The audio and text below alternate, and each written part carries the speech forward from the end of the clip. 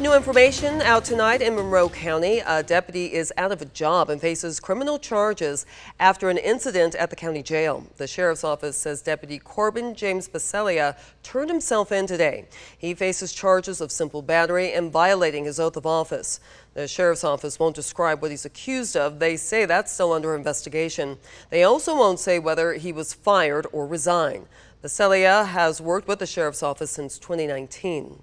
Earlier this year, Monroe County paid more than a million dollars to the family of a schizophrenic man who died in the jail in 2020. Video from the jail showed deputies holding the man in a chokehold for more than a minute and a half. Becelia was not involved in this case.